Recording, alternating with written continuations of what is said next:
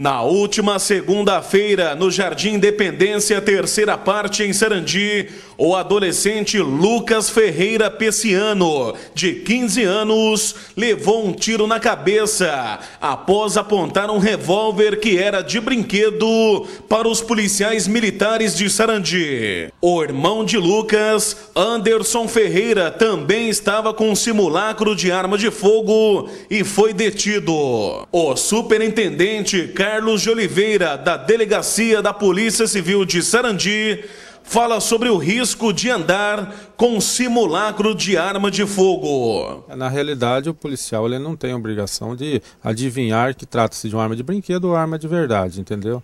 Agora, o que está sendo feito é o que a lei determina. Todas as pessoas envolvidas estão é, sendo ouvidas, né, aos poucos, inclusive os policiais militares e familiares já foram, já prestaram depoimento aqui na delegacia.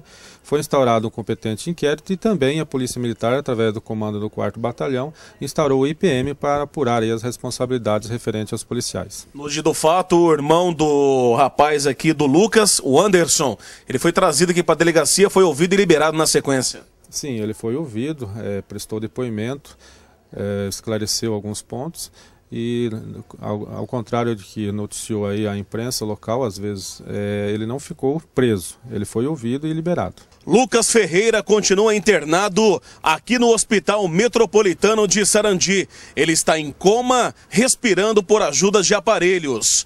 Trabalhando com as imagens do cinegrafista Alan Jones, repórter André Almenara para o Maringá Urgente.